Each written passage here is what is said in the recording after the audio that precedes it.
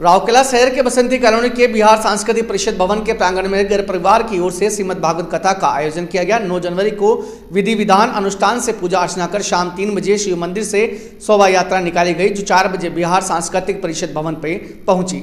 इस कथा वाचक परम श्रद्धे भागवत भूषण आचार्य ताराचंद साथ जी महाराज ने प्रथम दिन महात्म की कथा का वर्णन किया। सुभाष बापुड़िया आज जो कार्यक्रम हुआ है भागवत का श्री भागवत का इसके बारे में जानकारी दीजिएगा। हाँ, ये हमारी श्री भागवत प्रचार समिति है।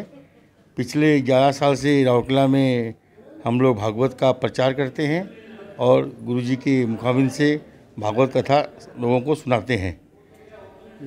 ये हमारी कितने साल से भागवत हो रही है? ग्यारह साल से ये बारहवीं साल है। अपने परिचय दीजिएगा। मैं नरेंद्र तिवारी परम पूज्य गुरुदेव भगवान के सानिध्य में सीधाम वृंदावन से सब लोग आए हैं। गुरुदेव भगवान के मुखारविंद से दिव्य श्रीमद् भागवत का भव्य आयोजन यहाँ हुआ है। और प्रथम दिवस की कथा में भागवत के महात्म की चर्चा गुरुदेव भगवान के मुखारविंद से हुई।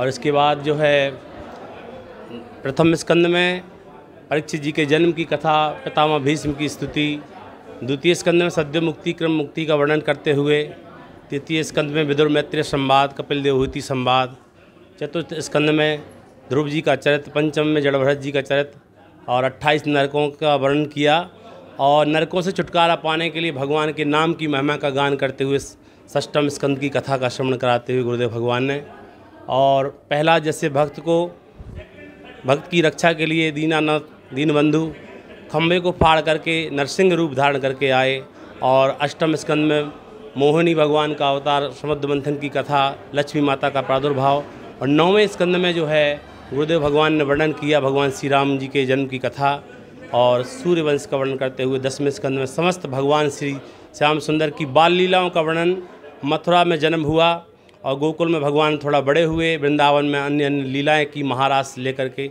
और फिर मथुरा में आकर कंस का वध करके और द्वारकाधीश ने द्वारिका बनाई और महारानी रुक्मणी के साथ में जिनका विवाह संपन्न हुआ